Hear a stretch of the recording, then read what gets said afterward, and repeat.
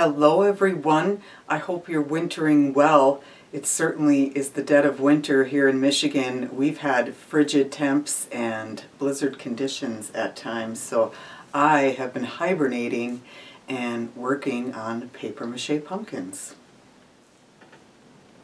So I thought I'd put this video together to maybe kickstart your project season.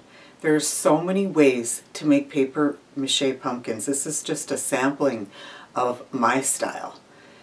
I add to my collection every year. Um, it is my all-time favorite Halloween project. I find them so addicting. So far, I've made eight new pumpkins for the upcoming season, and in this video, I take you along as I make one of them.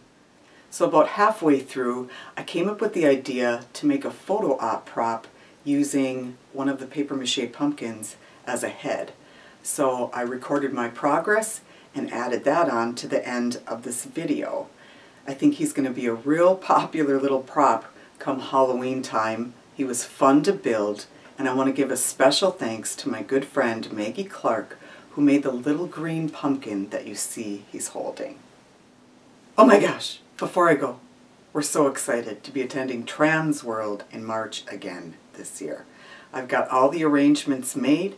I plan on putting a video together and I've been making Halloween pillowcases to give away to any haunter friends I might run into. Are you going? So if you see me on the Trans World floor, hit me up. I might have one for you. I've just got a limited amount, but I would love to meet you. So I hope you enjoyed this video. I hope to inspire, and I'll talk to you soon. Thank you.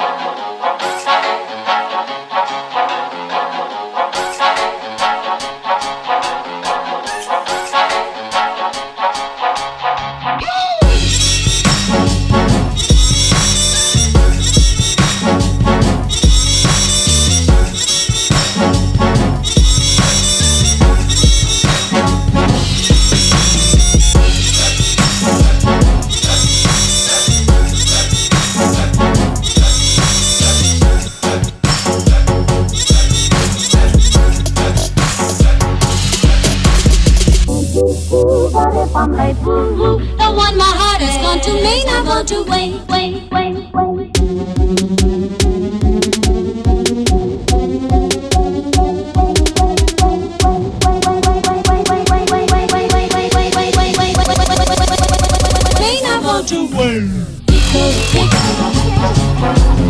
Tico, tico. Tico,